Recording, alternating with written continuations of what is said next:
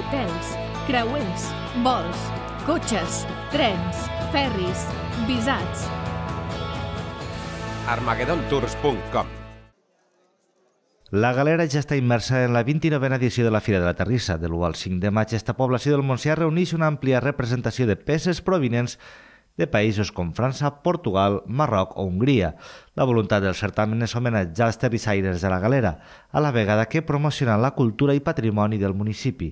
De fet, la presidenta del Parlament, Anna R, va destacar que la fira dona força i visibilitat a un ofici que s'ha anat perdent. És un poble petit, però amb una fira molt gran, que és capaç doncs, de fer una fira que sobretot dona força, llum i continuïtat a un ofici que aquí estava doncs, molt, molt arrelat, que s'ha anat perdent, però també un ofici que es va perdent a Catalunya, no? i aquí doncs, són capaços de donar-li aquesta visibilitat, fer-la referent i ser referent doncs, tant a nivell internacional com fins i tot doncs, a nivell de l'estat espanyol. Erra va ser l'encarregada d'inaugurar la fira que enguany té com a comunitat convidada a Cantàbria.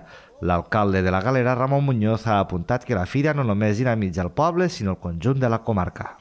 La importància que té la Fira de Terrissa no és tan sols per la galera, que la galera està situada al mapa dins del món terrisser a nivell de tota la península i de fora de la península, sinó que a vegades que dinamitzem el poble, també d'alguna manera dinamitzem la comarca, perquè és un poble petit i nosaltres no podem donar cabuda a tots els visitants, com esteu podent veure, els carrers estan plens de gent, molta d'aquesta gent per nota menja i dorm aquí al territori, per tant, és una fira potent, no sols per la galera, sinó també per la comarca. Veïns i visitants podran participar i gaudir fins al proper diumenge de tallers, demostracions, exposicions i tot tipus de peces de ceràmica.